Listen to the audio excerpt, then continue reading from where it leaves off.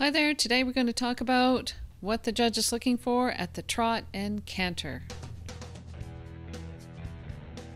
This is a request from Kathy GH. Thanks very much, Kathy, for giving us this request. And if you have a request, please send me an email or put it in a comments. I look at all the comments. Hi there, my name is Laura Kelland-May and welcome to another video. If it's your first time here, please remember to subscribe and hit the bell icon so you don't miss any new videos coming out.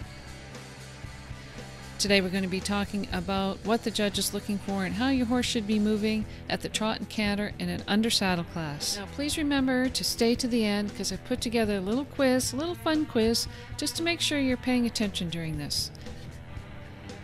Judges, generally speaking, really want you to succeed in your class. We really want you to do well. But there's people in the class, you paid your money, and there has to be a winner. So we have to pick the winner based on performance, movement, and manners.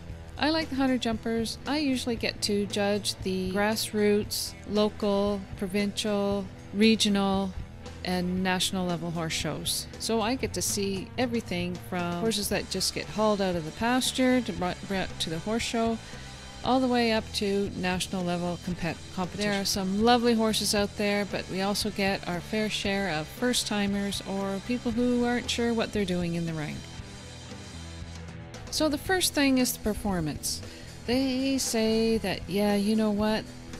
The best mover should win the class. But I say your horse can be the best mover out there, but if you're going around on the wrong lead, you're not going to get a ribbon. The best mover on the wrong lead won't win a class. If there's other horses there that are doing the correct lead, of course. Number one is you have to have a good, clean performance. Now, if you're in a green or novice class and you pick up the wrong lead and you change it quickly and smoothly, without a big fuss, then I could probably forgive you for that. So if you're in a novice or green class and you mess up your lead, bring your horse back down to a trot, pick up the correct lead. You'll be forgiven, probably be forgiven. But if you go around on the wrong lead and make a big fuss, your horse's head goes up and there's lots of resistance, that's going to be marked against you. So be aware if you do get a wrong lead, just bring your horse back and push your horse back up into the canter and get the correct lead quickly and efficiently, without drama. So watch till the end. There's a little quiz at the end. Put your answers in the comments below. I'd love to hear how you did. So the first thing is performance, the second thing is movement. Your horse should move well, and that's an important thing. It should be a nice mover. And all horses move, but some horses just move nicer than others. And depending on your breed, your type of horse, and the class specifications might be a little different for each horse. So check your class rules on what the breed and what your show is asking. Depending on the breed and discipline, you may find some differences in the horse's movement. Think Clydesdale. Clydesdale or Hackney, they've got more knee action, they lift their feet up higher, versus your Western pleasure horse that is a long, long, low frame and stretched out movement. So check your discipline rules to see what it is that they actually require. For the hunter under saddle, your horse should be quiet, calm, and rhythmic. The horse should have a steady, even pace and not scoot away from you when you're in the ring at all. No shying, no running or off rhythm, cantering or trotting. Should be nice and steady throughout your whole ride. At the trot, the horse's hind legs should be tracking up, and that means the horse's hind feet should step into the hoof print that the horse's front feet have made. And your horse should be going forward without going faster or unbridled speed. So forward without going faster. It's called impulsion. Here are three things that the judge is looking for when you're at the trot in an undersaddle class. Number one, a long, slow, bold stride.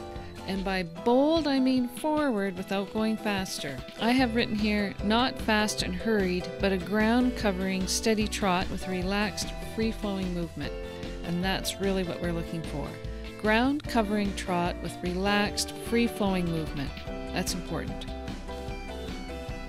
And you want to see the horse sweeping from the shoulder. Not much knee action, but sweeping through from the shoulder. Call that daisy cutter action. Number two, Number two, we like to have a relaxed top line. And top line is from the horse's ears all the way over their top, back, right down to their tail. Want that to be relaxed, with the horse's nose slightly in front of the vertical. The horse doesn't necessarily have to be in a frame, but the horse's nose should be slightly in front of the vertical with a light contact. And the third thing that the judge likes to see is a pleasant disposition. And that means no ear pinning or tail wringing, that type of thing. The judge has to see that the horse looks like it kind of likes its job that it's doing, like it's enjoying itself out there. And you should also make it look like you're enjoying yourself when you're out there riding it. The horse should be obedient and happy, and generally speaking, the horse should appear efficient and effortless when it's going out and going around the ring. At the canter, the judge likes to see these three things. Number one, an even, rhythmic canter with definite three beats. Three beat canter. And again, the, the horse should be a nice ground covering canter, forward without going faster. Forward without going fast and without unbridled speed. Nice steady canter Number two, again, relaxed top line with the nose slightly in front of the vertical. Sometimes the horses get into the canter, they get excited, they start to go fast, they raise their head up and they tighten up through their back. That's no good. We don't like to see a tight back. We want to see the horse nice and calm and relaxed throughout its top line, right from the tip of his nose right down to his tail. And that's one way that the judge can tell if your horse is relaxed, that the horse's tail is kind of gently swaying back and forth. And that also shows not only does it show relaxation, but it also shows that the horse is swinging up underneath itself with its hind legs and using its hindquarters properly. So that's also really important. The judge likes to see a nice, calm, nice, steady canter. And one way the judge should see that is that the horse's tail is swishing. Not swishing, the horse's tail is just swinging or swaying side to side as the horse reaches up underneath itself with its hind legs. At the canter, the horse should have a steady head carriage, and we kind of just touched on that. Sometimes the horses get a little faster because there's several horses cantering at the same time, so they get a little excited, they start running, the rider grabs on the horse's mouth, and that makes them bring their head up. As soon as the judge sees that the horse's head is up and you're fighting with the horse, that's going to drop you down. So a nice steady head carriage, rounded through the frame. And the third thing that the judge likes to see is that the horse likes the job he's doing. No ear pinning or tail switching. Again, horse has to be relaxed and going forward. Briefly, the walk. The walk should be four beats. Uh, one thing that will knock you down if your horse has a lateral walk or walks with both legs on the same side together going forward. The horse should have an even four beat walk one, two, three, four, and not a lateral walk. Stay tuned for the little quiz.